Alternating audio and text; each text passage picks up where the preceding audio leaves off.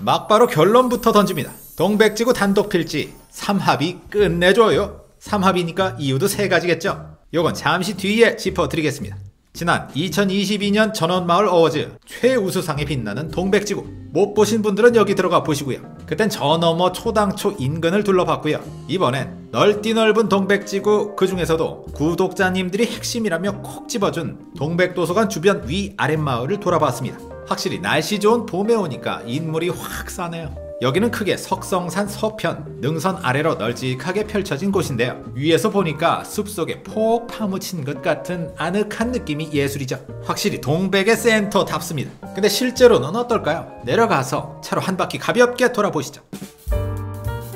동백지구를 강추하는 첫 번째 이유, 일합. 바로 교통입니다. 이따 입지 분석 때 자세히 뜯어보겠지만 여기서 지도 정도만 살짝 보는 건 괜찮잖아. 보세요. 지구 전체를 영동고속도로와 수도권 제2순환로가 두 팔 벌려 꼭 끌어안고 있죠. 보통 이런 곳은 물류창고나 공장들 독차지인데 여긴 희한하게 깨끗합니다. 하긴 사통팔달이란 말이 어디 물건에만 쓰이면 되겠습니까? 그걸 쓰는 사람도 빠르게 오고 가야죠. 우리 구독자님들 입지 볼 때 다 제쳐두고 일단 도로, 교통부터 보고 계시죠? 기본기가 이렇게 탄탄하니까 이 동네 주거 만족도가 언제나 최상위권 아니겠습니까? 하지만 그렇다고 모든 교통이 다 완벽하냐? 그건 또 다른 얘기. 이따 매운맛 시간에 제가 따로 한 숟가락 잘 담아놨습니다.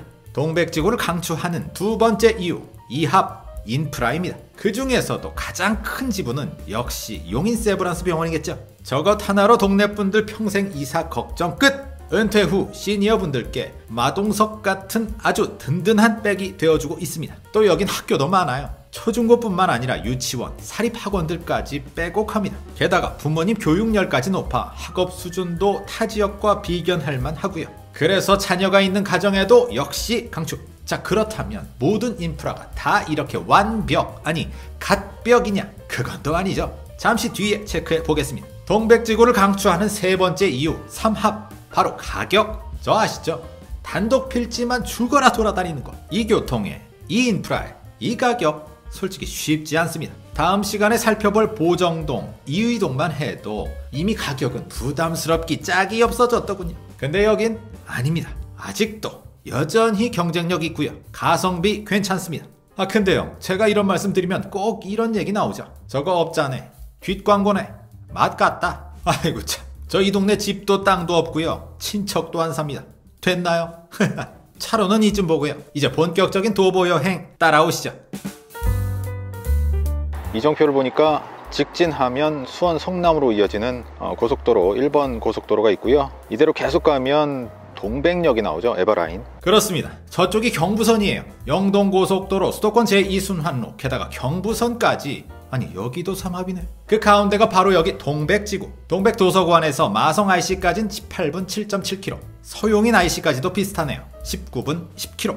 지금 출퇴근 시간 와 정말 길이 많이 막힙니다 일단 차선이 좁고요 입체적으로 설계를 했지만 양쪽에서 끼어드는 차들이 엄청 많습니다 그리고 빠져나가는 차들도 많고요 길 좋다고 차까지 안 막히는 건 아니겠죠. 경부선 라인 치고는 그나마 좀 양호한 편이지만 그래도 좀 아쉬운 건 어쩔 수가 없네요. 네, 버스 정거장이 보입니다. 당연히 뭐 버스는 많겠죠. 두 대 있네요.